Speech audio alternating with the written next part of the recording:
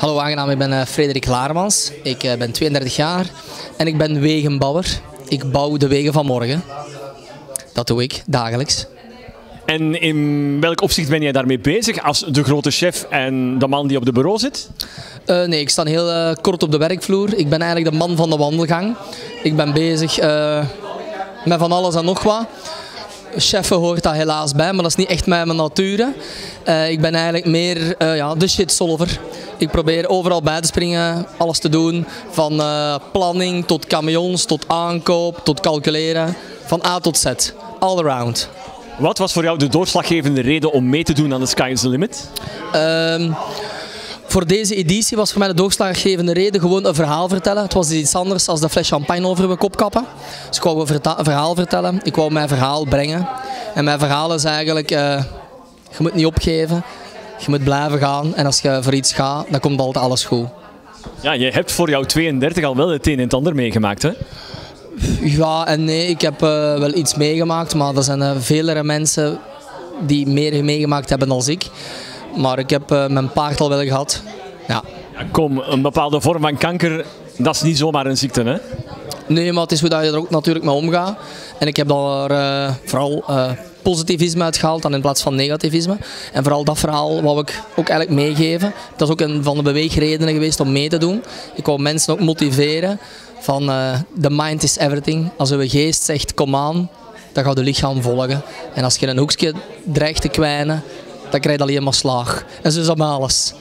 Dus toen jij te horen kreeg dat jij kanker had, de wereld stortte even in, hebben we in de eerste aflevering gezien.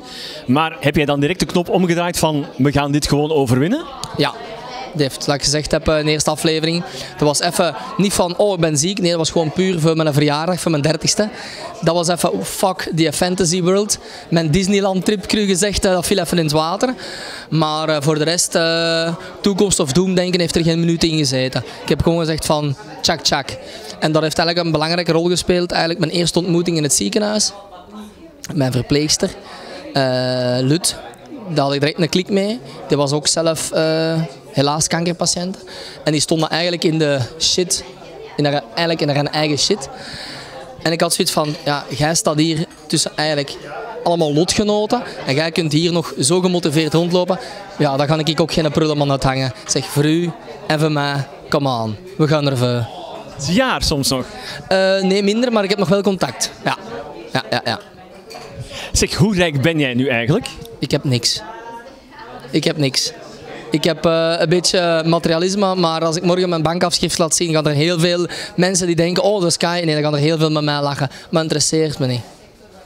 Uh, geld maakt niet gelukkig. Het is gemakkelijk. Het is wat je ermee doet. En mijn ding is uh, vooral werk. Ik wil een zaak opbouwen. En al wat ik heb, heb ik in mijn zaak gestoken. En ik wil mijn zaak naar een hoger niveau tillen. En dat komt op de eerste plaats. En ooit zal ik daar hopelijk de vruchten van plukken. Maar mijn doel is niet miljardair te zijn of euromiljonair. Dan uh, zal ik me wel een nieuw fantasie kunnen aankopen om uh, het me te amuseren. Hoe groot is het bedrijf dan? Het bedrijf uh, telt nu met onderaannemers aan ons been zijn wij dagelijks met 50 mensen aan de slag. En we doen plus minus een 11 miljoen euro omzet. Dat is niet weinig hè? Nee, dat is niet niks. Maar dat is niks meer verdiend, want het is wegenbouw.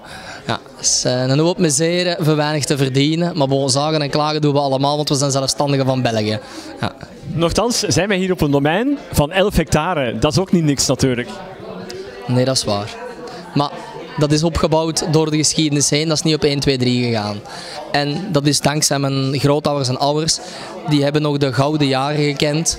Uh, die jaren zijn helaas voorbij. Het groeit niet meer, cru gezegd, aan de bomen.